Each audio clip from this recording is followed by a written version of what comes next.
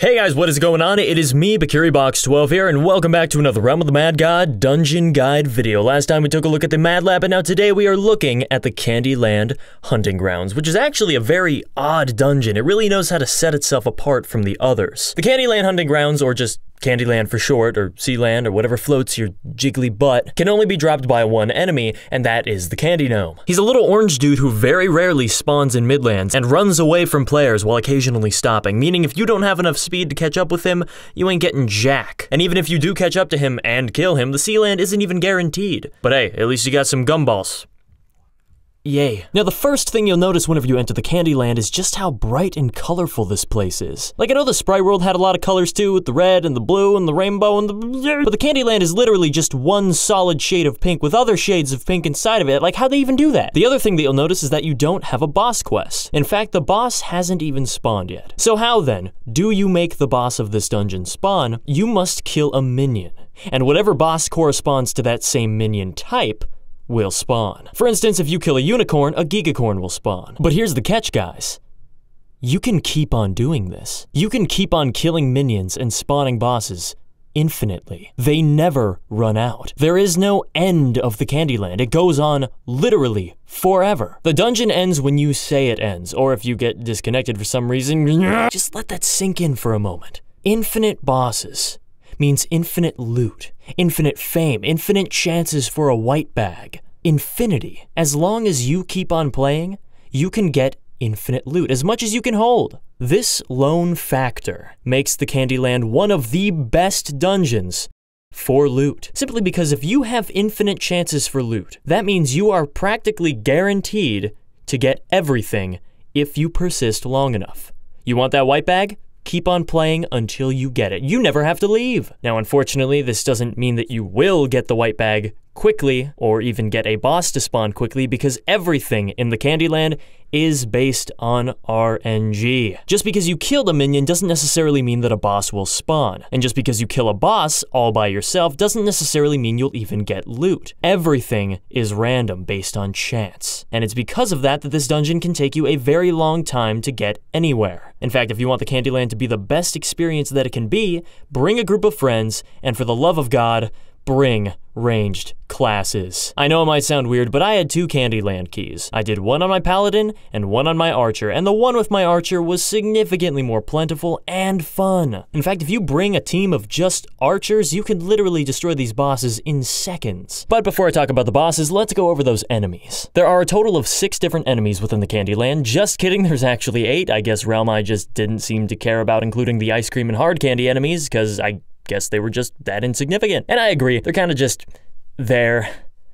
But for the first of the main enemies, we have the Wishing Troll, who's actually one of the most dangerous ones. It's got a hexing boomerang that deals 70 damage, all while making you hallucinate for 3 seconds, on top of a 150 damage AoE. My advice, circle around the enemies, or if you have the range, just take them out from afar. That's always a good solution. Next up, we've got the Cream Puffs, and do not let the name nor the look of these enemies fool you. They are surprisingly fast and can actually deal quite a bit of damage. The Big Cream Puff is your standard enemy, but the Little Cream Puff has the ability to slow you, so do your best to avoid that one. Try to clear the little ones as fast as you can and then move on to the big one. Then of course we've got the Roto purple thing, who's your standard enemy. It's slow, but the tiny Rototos are actually a lot more deadly because they have a very EP-esque shot, meaning all of their bullets fire from within and outward. Meaning if they sit on you, which they will try to do, they can pop you like that. So try and make it a priority to avoid the minions before the big guy. Then of course we have the staple unicorn enemy, who's definitely the most aggressive of the bunch. It'll alternate between just wandering around and charging at enemies enemies use this charging opportunity as a way for you to back up and just let it kind of walk to you while you fire at it. It's a good way for the player to remain in control of the battle and lure the enemy where you want it to be. Other than that, it's a very simple enemy, not too challenging. It hits hard, so beware of that. But as long as you're moderately coherent, it shouldn't give you much trouble. Penultimately, we have the fairies, and uh,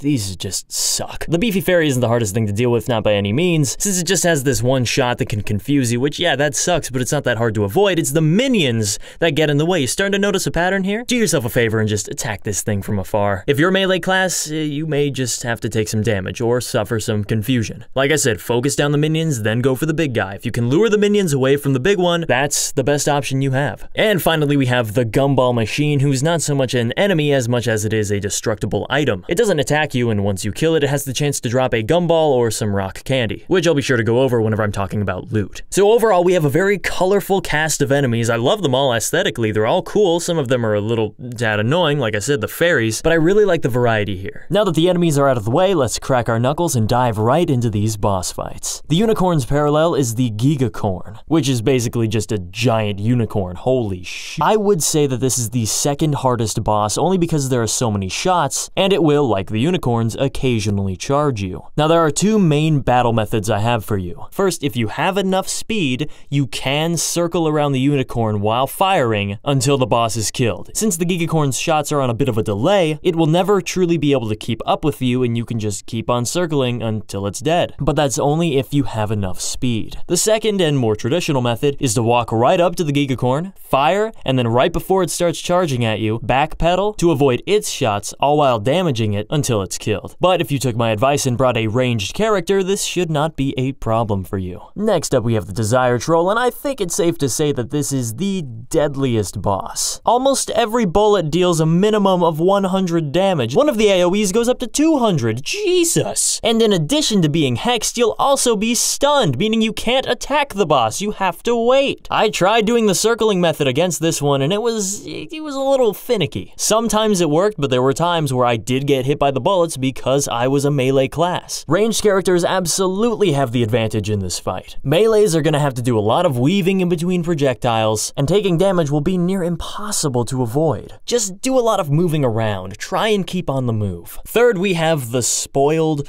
Cream Puff, who still packs a punch but ironically doesn't slow you. Here's the funny thing though, it only has 1200 health. I don't really think I need to walk you through this one. The way that you fight him is the same way that you fight the Cream Puffs, just now you got a bigger one and he's even weaker somehow. I don't get it. Then you've got a Mega who actually has like a freaking flamethrower for a shotgun. Look at the, what the? So try to move back and forth and fake out the shots. He does have a brief period where he stops his flamethrower and just does some standard shots. So if you have to, you can wait until that phase begins and use that as your opportunity to deal damage, if you want to play it safe. And ultimately, we have the Swole Fairy. What a name. It's basically a giant, beefy fairy. I mean, there's not really much I can say about that. It still has the ability to confuse you, as well as the minions, but I find this boss to be ironically easy. I feel like it leaves itself wide open a lot, so I think you can take this one on with your wits. Also, I didn't mention this earlier, but you can actually stack bosses. Say you kill a unicorn, then a rototo, then a cream puff. The gigacorn then spawns, and then you leave. The mega rototo has a chance to spawn after you leave the room, because I didn't mention this either, but whenever you're inside of the boss room, or if anyone's in there, bosses will not spawn. Invisible rogues don't count. So if you think that you're safe being all cloaked in the very center of the room, nah, you're you're done. But if you don't feel like painstakingly killing enemies, going to the room, killing more enemies, going back, you can actually just farm up enemies over and over and over, and whenever you feel like you've had your fill, you can go to the boss room. And once you leave the room, the next boss that has its chance will spawn, without you needing to kill any more enemies. However, this method is slightly unreliable, since again, this entire dungeon is completely random. I've only gotten a maximum stack of like four, so make that what we will. As for the drops of interest, we have a defense, attack, and wisdom potion, the defense being dropped by the Swole Fairy and Spoiled Cream Puff, the attack by the Desire Troll, Spoiled Cream Puff, and Gigacorn, and the wisdom by the Desire Troll, Swole Fairy, and Gigacorn. The Wine Cellar incantation is dropped by all five, and the Gumballs Rock Rock candy and Candy Ring are all dropped by the five bosses in addition to the Gumball machines. Gumballs are a nifty and quite common little item that can temporarily increase one of your six main stats by eight. So if you want to pop one of these right before fighting a boss, go right ahead. The Rock Candy is a very unorthodox item. Upon consumption, it'll spawn a bunch of explosions. So I guess if you want to pop this in a room full of enemies or right before the boss, go right ahead. And the candy ring is also a very odd item. It gives you plus 10 vitality and speed, but minus 100 mana and wisdom. So I guess, you know, you can put this on if you want to rush something, if your class doesn't require much mana, or if you just don't have a better ring. All five bosses also drop the white bag of the dungeon, which is the candy-coated armor, which is definitely an item that I like. I know some people don't care for it since it gives you 30 defense but minus 10 dexterity, but I still think it looks cool enough to the point where I'm glad I have one. I still have it, right? Oh, shoot. Then, of course, we have the Swole Paladin set. Now, I don't know much about these items. I do know about the Pixie Sword because I did a guide on it, but I can certainly tell you that it's not a bad set to have, not by any means. It may not be the best combination of items for a Paladin to wear, that's always debatable, but it's definitely a good set. The Sun Tarot card, if you care, is only droppable by the Swole Fairy and Gigacorn, and the Little Peppermint Candy Snail is droppable by all 5. So like I said in the beginning, this is a phenomenal dungeon for getting loot. New players, if you have the opportunity to go into a C-Land, don't trust a guy who's just calling out C-Land in the chat, because we all know what's been going on. But if you do get a chance to do one, please take up the opportunity. Maybe soloing isn't exactly the route I would go. First of all, that's impressive if you could find a C-Land by yourself, but if you can take a group of friends to do like say a guild C-Land, it is entirely worth it. The fact that you have infinite bosses makes it entirely worth it. I know that a lot of people say that the cemetery is a great beginner's dungeon, and it is. Trust me, very plentiful. It's all around very beneficial for a new player. However, the Candyland trumps the cemetery simply for the sheer profusion of items and potions that you can get. It's a rare dungeon, that's for sure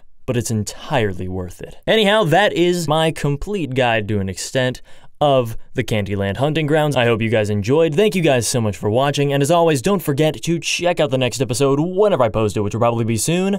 Alright. See ya.